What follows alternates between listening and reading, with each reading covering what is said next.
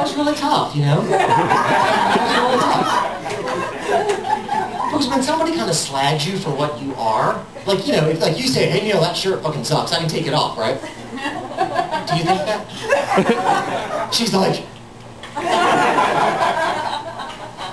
but if somebody kind of nails you for what you are, you can't you can't shed your, your sexuality, you can't shed your race or you know anything like that. And it's really divisive. And I find, especially in this time of elections, it's so easy to divide people, isn't it? Mean, even in this room, there are divisions that are easily exploited. For example, I'm a stand-up comedian, and you poor suckers have jobs that pay. but you know, I kind of like to bring things together, and no matter what you think separates you from somebody else, there's always something that'll bring you together. Let's demonstrate. And we got some straight guys in this room? We gotta have some straight guys in this room. Come on, raise your hands. No, I haven't fucked any of you. They're straight. So straight guys.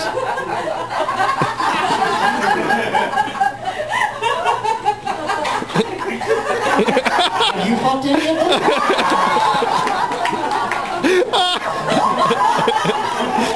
We may need to probe into this, or did you already take care of that? I said, straight guys. Your greatest fear is marrying a woman. One two. yeah, came right together. So you got some straight women here? Yes. Yeah, well, we know you're straight. Straighter than straight. So, you know, straight women, you think that the primary purpose of straight men is to fix cars and dance naked in cages for your amusement. It's pretty sweet. but go on, let me just say, like, I have nothing against heterosexuals. Like, that's one of my favorite orientations. but I don't get this whole straight guy gay fear. Like straight guys, you shouldn't be afraid of us. You should learn from us. We have much to teach you. Because let me tell you, we have helped women put their bras on. We have handed them towels coming out of the shower. We have watched them try on lingerie. So you can make fun of our fashion loving show tune playing asses.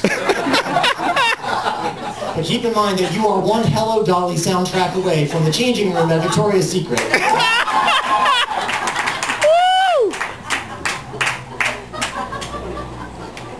But you know, I, I kind of really do prefer to focus on the things that sort of bring us together. And I think that one thing that we can all kind of agree on is that we all have these stupid habits that we don't question, we just do. And one that's kind of been on my mind is this habit that we have. We think that other Americans aren't going to quite get what we're saying unless we kind of mime along with our words. Have you noticed this? You'll be in a coffee shop like this one, perhaps, and you'll see someone be like, oh, you know, I forgot, could I have a spoon? like if you don't do this shit, they're to hand you a fucking clock. a spoon, tick-tock. And what if you made different hand gestures? Do you think people wouldn't understand you? And they were like, hey, sneak off and get me a Diet Coke.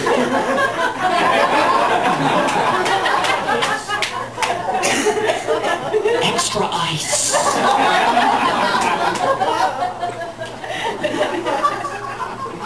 Hey, do you have that time? Time. Eastern Standard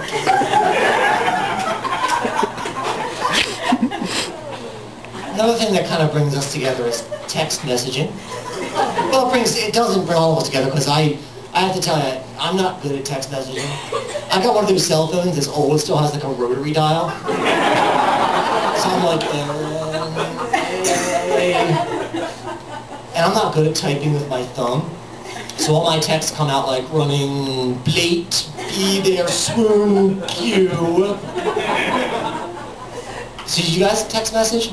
Are you text messaging now? Because I can't talk listening to 401k motherfucker. Thank you.